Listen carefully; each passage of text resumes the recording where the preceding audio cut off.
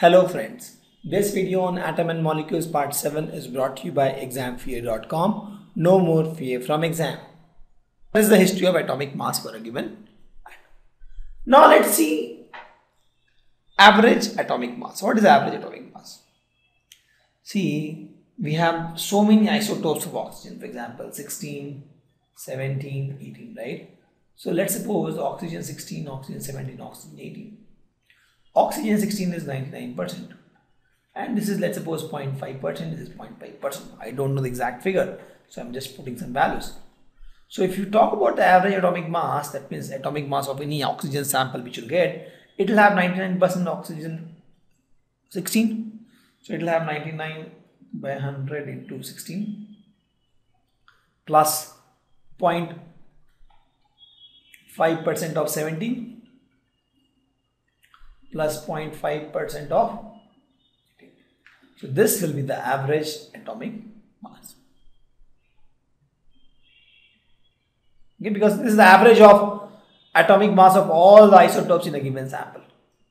And since in the chemical world when you talk about oxygen you talk about only oxygen. Right? When you talk about oxygen in the lab when you react for example when you burn a matchstick so their uh, carbon is reacting with oxygen to form CO2, wood is carbon. So in that case, the oxygen that is used to burn carbon is the atmospheric oxygen. And atmospheric oxygen, if you see this is atmospheric oxygen, has O16 also, O17 also, O18 also, right? And all these have different atomic mass. So which mass should we take? So we take average average based on the proportion. We know oxygen 16 is 99%, oxygen 17 is almost 0.5, oxygen 18 is almost 0.5. So we take average of this and we get some value, mostly 16 point some value, maybe 0 to 3, I'm not sure of the exact value. Some value will come and that is the average atomic mass for oxygen. Similarly, for all the elements, you can find the average atomic mass.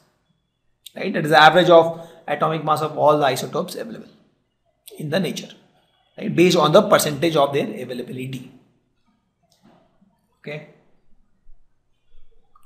Now the question is, we talked about atom, we talk about size, we talk about weight of the atom.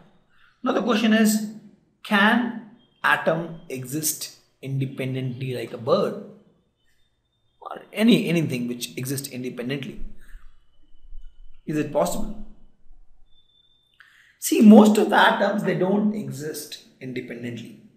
They exist as molecules and or ions. Molecules or ion. And this is for the most. But some do exist independently.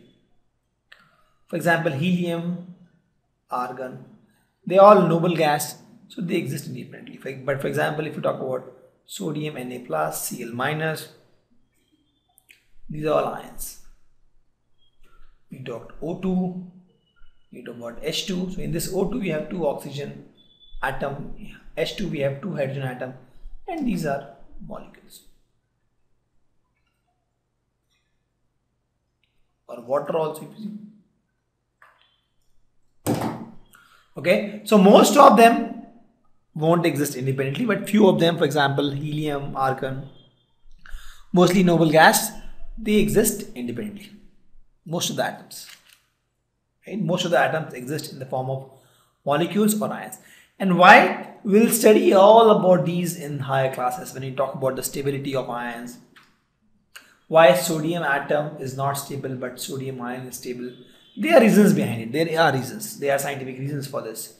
Why chlorine atom is not stable but chlorine ions is stable. That too with a negative charge negative charge that means it has taken electron uh, for now leave it. Maybe in the next chapter we'll talk about the atoms. We'll touch upon these a little bit. But in the higher classes you will study about these things. Okay. Let's take some questions here. Why it is not possible to see atom with the naked eyes? See these atoms are very small. They are very small very tiny actually. And they are measured in nanometer 10 to the power minus 9 meter. So small. They are so small that actually you can't see through negatives. Why? Because see uh, this is also a little advanced concept for anything to see the way it works is you have a light. Maybe sunlight or any other light. Light and this object which you want to see. Light will come and will get reflected by the object. And then is reflected by the object then your eye this is your eye assuming then you can see it.